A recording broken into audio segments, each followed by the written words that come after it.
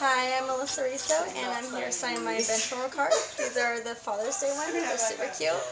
Um, you can follow me on Twitter under Real Melissa Riso or my website, melissariso.com. Thanks, Sam.